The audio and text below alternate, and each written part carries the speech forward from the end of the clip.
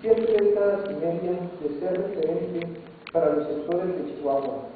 Vamos a seguir siendo esta referencia, este punto de referencia física, pero respetuosa, que siempre estará presente en la solución mediante el trabajo ordenado y la firme participación social.